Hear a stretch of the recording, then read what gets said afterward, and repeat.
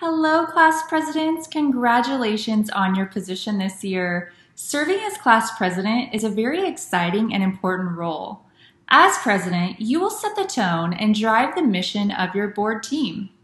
Along with the support of your grade level advisors, you will ensure that your meetings, your board meetings, and your Ticktocker meetings are well organized, informative, and engaging.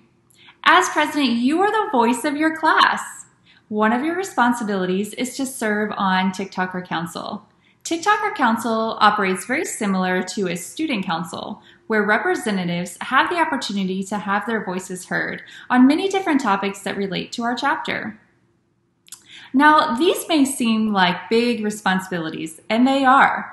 As president, your classmates will look to you to see how you're leading, how you're serving, and where your heart is for the class.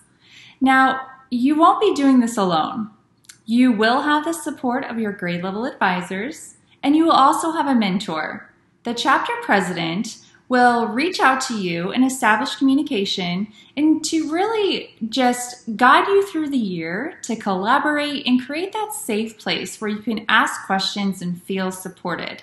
No one has ever walked into the role as president and never had any questions. So please don't feel afraid to reach out to your mentor. She is here to help you and just can't wait to see how you grow in this role. I'm so excited for you to lead your class this year. Good luck to you.